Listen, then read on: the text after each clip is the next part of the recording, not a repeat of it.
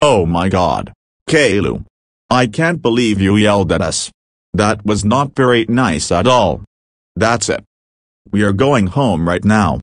You are going to be in big trouble. When we get home,